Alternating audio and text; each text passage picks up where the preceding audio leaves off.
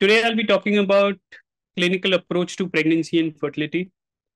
Uh, the journey of parenthood is a beautiful one, and by the means of this presentation, I'll try and give you insights of how one can prepare and optimize chances of conceiving a healthy baby.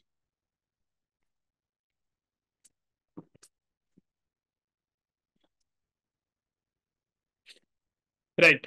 So straight off the bat, I think it's uh, really important that a proper comprehensive medical history is taken for both the partners who are involved.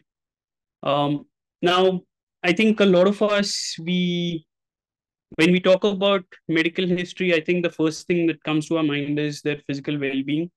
But let me assure you that mental well-being of not just uh, these people who are trying to conceive, but everyone who comes to you is equally important.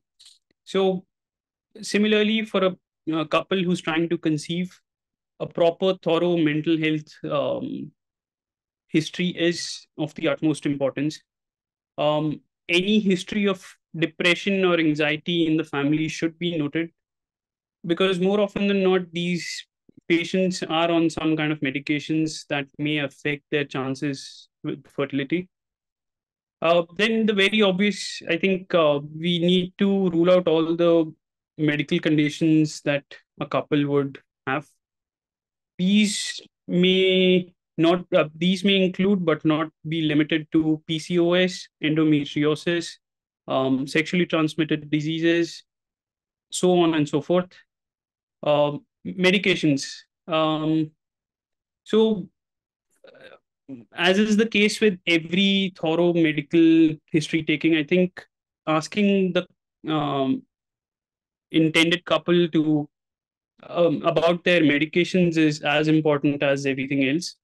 Um, there are various medications that if um, a partner, if a person who's trying to conceive, if they are on these certain medications, it may make their journey towards a successful pregnancy quite difficult. Um, if I had to take a couple of examples, um, I think most obvious would be your antipsychotic or antidepressants, wherein you would have uh, something like a citalopram or a sertraline. Now, these um, these can elevate the prolactin levels in the blood.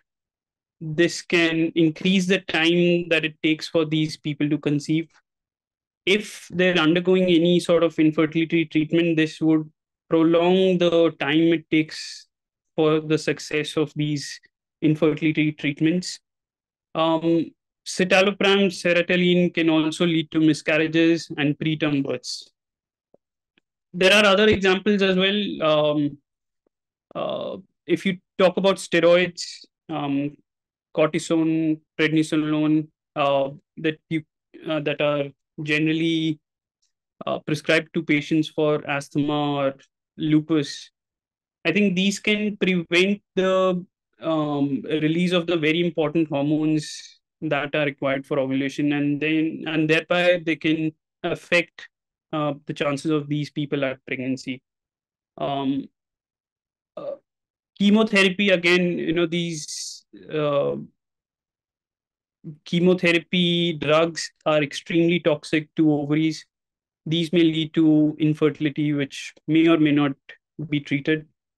Uh, and lastly, uh, these days there are uh, there are quite a few skin products that have um, hormones like estrogen, progesterone, hyaluronic acid, which may interfere with the normal hormonal balance of the body, and thereby it may lead to you know, a difficulty in conception. Uh, lastly, I wanted to touch upon uh, family history. I think family history is as important as everything else. Um, we need to rule out any genetic disorders that may affect pregnancy. And if anyone's trying to undergo an infertility treatment, this needs to be noted down uh, and uh, you know reminded once we've started because we may have to approach a different uh, we may have to approach it differently if there is a, name, a known cause of uh, genetic disorders for these people.